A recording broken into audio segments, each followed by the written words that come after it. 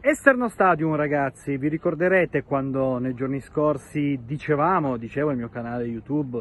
eh, mi raccomando, vietato far sì che questa stagione da fallimentare diventi catastrofica, perché non andare in Champions League al di là poi del danno sportivo diventa anche un ingente danno economico che va poi così a caratterizzare già un quadro tutt'altro che roseo, ovviamente poi impattato da questa maledetta pandemia che ha un peso specifico sui conti eh, notevolissimo. E invece la Juventus davvero da autolesionista fa di tutto per complicarsi ulteriormente la vita, prende tre pappine dal Milan in una gara che onestamente eh, per pura decenza professionale eh, non voglio analizzare perché credo che eh, non ci sia nulla da dire quantomeno qua sul mio canale YouTube, poi invece il mio punto di vista giornalistico lo potete trovare tranquillamente su gol.com dove ho scritto il pezzo partita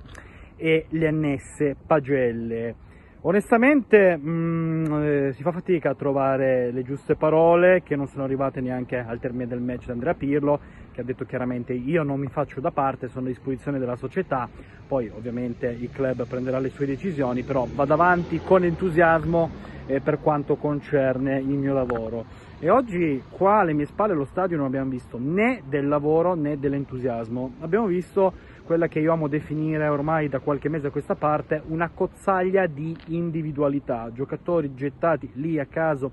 in mezzo al campo e che, eh, che poi onestamente propongono il nulla veramente mischiato al niente. Eh, davvero mh, mm, è difficile pensare che la Juventus in un lasso di tempo così ravvicinato sia riuscita a passare poi eh, da uno scudetto sudato, non bellissimo da un punto di vista proprio della conquista, perché contestualizzato poi proprio al boom eh, della pandemia, contestualizzato anche a una squadra, ovviamente faccio riferimento a quella di Maurizio Sarri, che non era diventata eh, empatica, però qui siamo andati ben oltre perché eh, siamo oltre, eh, scusate gioco di parole, la decenza, cioè mh, mm, qui non c'è niente, non c'è assolutamente niente, ci sono solo macerie che poi creeranno eh, una, una, ripartenza che dovranno sfociare inevitabilmente nel rialzare la testa, ma non sarà semplice per chiunque dovrà farlo, dovrà metterci mano, è che si tratti poi di area sportiva e che si tratti nello specifico anche di responsabile e dello staff tecnico, quindi dell'allenatore. Eh, malissimo tutto, male proprio quello che credo lasci più deluso il tifoso bianco-nero è l'approccio e l'atteggiamento è il giocarti uno spareggio Champions in queste condizioni mentali, perché qua non ci sono attenuanti, non ci sono discorsi alla Superlega che tengano, qua c'è semplicemente poi da fare il proprio dovere, perché stiamo parlando comunque eh, di professionisti lautamente pagati e chiamati quindi a esercitare la propria professione nel migliore dei modi. Quando parliamo della Juventus parliamo di uno dei club con i monte ingaggi più alti su scala internazionale,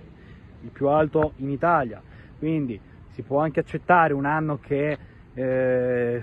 che diventi poi di transizione, si può accettare che fisiologicamente si possa anche abdicare, si può accettare il fatto che come è accaduto in questa stagione, l'avversario sia più forte, gli avversari siano più forti, perché non stiamo più parlando come punto di riferimento eh, dell'Inter solamente, che ha fatto un campionato a parte in relazione a quello della Juventus, stiamo parlando di una squadra che molto probabilmente non si qualificherà alla prossima edizione della Champions League. E questo è imperdonabile per chiunque lavori eh, in questa società, perché mh, mm, poi bisogna assumersi le proprie responsabilità. Passare in chiave progettuale dall'acquisto di Cristiano Ronaldo perché si pensava che mancasse solamente lui per vincere questa benetta coppa che manca nel 1996 addirittura ottenere l'eliminazione dalla Champions League onestamente eh, viene da pensare viene da pensare innanzitutto come ci siano stati degli, degli errori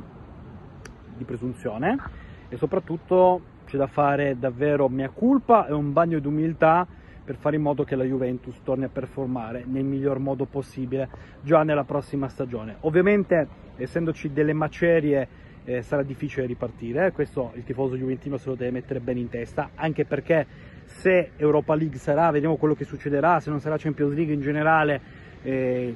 è inevitabile anche che ci sia un ridimensionamento a livello di costi. D'altra parte, se poi analizziamo quelli attuali di questa rosa, che addirittura non si qualifica per la prossima edizione della Champions League, molto probabilmente, beh, ben venga anche qualche taglio qua e là e anche a livello di scelte impopolari, tagliando giocatori che godono di credito infinito, ma che soprattutto negli ultimi tempi alla Juventus hanno fatto più chiacchiere social eh, che altro. Ma adesso non voglio andare nella retorica, non voglio andare nel qualunquismo, questa è la semplice realtà dei fatti, perché credo che il tifoso juventino in questa stagione sia stato umiliato in lungo e in largo dal 3-0 rifilato dalla Fiorentina, in casa proprio qua allo stadio, un stesso risultato oggi